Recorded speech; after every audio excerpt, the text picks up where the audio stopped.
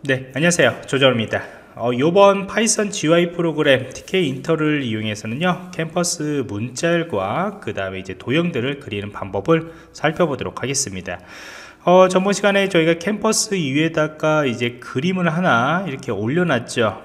그런데 이번엔 캔버스 위에다가 저희가 이제 문자하고 그 다음에 이제 도형들을 몇 개를 한번 이렇게 그려보면서 어떤 원리로 예, 그려지는가 한번 보도록 할 거예요. 요거를 진행을 하면 이제 나중에 여러분들 이제 뭐 페인트 프로그램 같은 거 예, 이런 거에 그런 뭐 입문이라고 보시면 되고요. 나중에 이제 페인트 프로그램이나 그런 것들 같은 경우에도 한번 같이 만들어 보는데 우선 요거부터 원리를 좀 아셔야 합니다. 그래서 모든 걸 이제 캔버스 위에다가 이제 그려 나가야 돼요. 어떤 게임을 만들든지 뭐를 하든지 이렇게 미끄러지지 그 위에다가 이제 바탕 위에다가 저희가 만들어야 하기 때문에요 자 그러면은 전번 시간에 저희가 음, 만들었던 이 캔버스 바탕 똑같이 소스 코드를 씁니다. 그래서 캔버스에다가 저희가 600에 600 크기로 white로 어, 지정을 했고요. 이제 바탕을 만들어 놓은 거죠.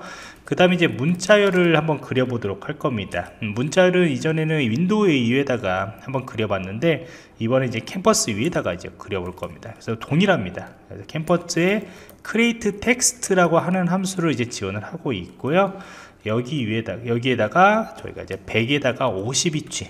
100에다가 50인치라면은 600 600 크기이기 때문에 어, 바로 이쪽, 이쪽 부분 되겠죠? 이쪽 부분 정도 될 것 같습니다. 여기다가 이제 문자를 하나 넣을 건데 텍스트로 예, 텍스트로 그 다음에 캠퍼스 위에 문자열 뭐 이런 식으로 어, 집어넣도록 할 것이고요.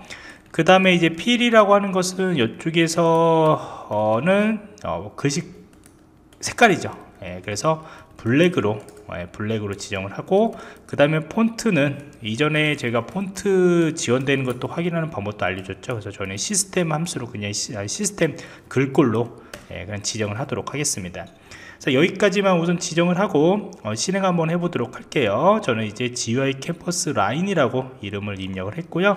어, F4키를 눌러서 지정을 하시면은 음, 너무나 왼쪽에다가 됐네요 그렇죠? 왼쪽에다 넘어했어요. 그래서 100에 50이 아니고 한 200에 50 정도로 넣을게요. 200에 100 정도로. 200에 한80 네, 정도로. 그래서 이렇게 다시 지정하면은 아, 이 정도의 지금 현재 어, 있는 것을 볼 수가 있죠.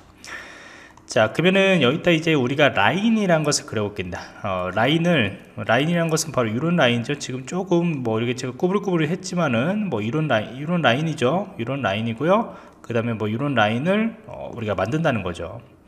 근데 이제 라인을 만들 때 캠퍼스 위에 만들 때 원리는 뭐냐면은 어, 간단합니다. 바로 이제 시작점하고 끝점 이것만 지정을 해주시면은 얘가 여기서부터 이렇게 라인이 그려지게 되는 거죠. 그래서 시작점의 XY 좌표하고 끝점의 XY 좌표 이것만 지정을 해주시면은 자동으로 이제 그려지게 됩니다. 자 그래서 우리가 여기다가 이제 라인 예, 라인을 한번 입력을 해 보도록 할 거예요. 자 캔버스 예, 캔버스 있고 그 다음에 create line입니다. create line으로 저희가 그려주게 될 겁니다. 그러면은 이제 시작이라고 하는 것은 이제 뭐 한 100에 어, 100 정도의 100부터 예, 시작을 하겠고요. 이게 시작점이죠. 앞에 두 개가 시작점이고요. 뒤에 두 개는 끝점입니다. 그러면 200에 200이라는 위치에다가 그러면은 거의 정사각형처럼 이제 그려지는 예, 그런 형태인데 여기다가 이렇게 끝점 끝점하고 얘네들은 이제 이렇게 된 거죠. 안 보이는 거죠? 없죠? 그러면 이렇게 그려지겠죠. 자 그래서 이렇게 그리도록 하겠습니다. 그 다음에 필. 저희가 채우는 어, 그 안에 있는 어, 저희가 그식 그, 아, 아, 라인이죠. 예, 라인이기 때문에 저희가 라인 어, 색깔인 것이고요. 라인 색깔은 레드로 어, 지정을 할 것이고요 자 이렇게만 지정을 한번 해보고 실행을 해보도록 하겠습니다. 그러면은 이렇게 그려지는 것을 볼 수가 있죠. 자 그러면은 요거에다가 이제 우리가 너무나 라인이 적기 때문에 작기 때문에 width 값 너무 작죠. 그래서 width 값은 저희가 굵기로 예, 지정을 합니다. 그래서 3 정도로 지정을 해 주시면은 3 정도로 지정해 주시면은 이 정도로 예, 표현되는 것을 볼 수가 있어요 자 되셨죠? 그래서 라인을 한번 저희가 한번 그려 봤고요. 자 그 다음에 이제 어, 저희가 이제 네모칸을 한번 그려볼 거예요. 이렇게 네모칸을 그려보는데 네모칸 같은 경우는 라인하고 그린 거 똑같습니다. 왜 그러냐면은 이 네모칸 같은 경우에도 시작하는 부분과 이 모서리하고 그 다음에 끝에 시작하는 모서리를 지정만 해주시면은 얘가 알아서 이렇게 네모칸으로 이렇게 지정을 하게 되는 거죠. 만약 여러분들이 정사각형을 그리고 싶으면은 그것을 좌표로 거기에 맞게 저희가 100, 100정, 200, 200 이렇게 차이가 나게만 저희가 위치를 지정해 주시면 되겠죠. 그런데 이제 직사각형을 하고 싶다 그러면 이렇게 위치가 되기 때문에 여기 위치들도 거기에 맞게 뭐 200 정도 위치하고 100 정도 위치 이렇게 지정을 해 주시면 되겠죠 자 그러면은 저희가 똑같이 한번 그려보도록 하겠습니다 그래서 캔버스 그 다음에 create 어, 우리가 어, 네모칸 같은 경우는 레탱글 이라고 이렇게 함수를 어, 지원을 하고 있어요 자, 그 다음에 요거는 이제 조금 멀리 아래쪽에다가 지어, 그, 표시를 또, 또 해야 하기 때문에 저희가 한 200에 200부터 시작을 하도록 할 것이고요.